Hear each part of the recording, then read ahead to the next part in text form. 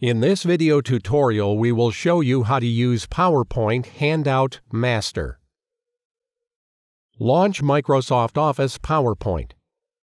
Press the Office button and choose Open.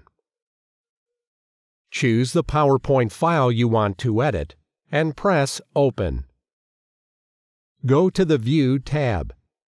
Click Handout Master. In the following menu, click Page Setup. In the appeared window, you can select the aspect ratio by pressing under Slides Sized For and select the needed format. Then you can click Slides per Page and select the needed amount of slides. Press Background Styles, and in the pop-up menu, select the background style you prefer. When it's all done, press Close Master View. Leave comments and send your questions to our email.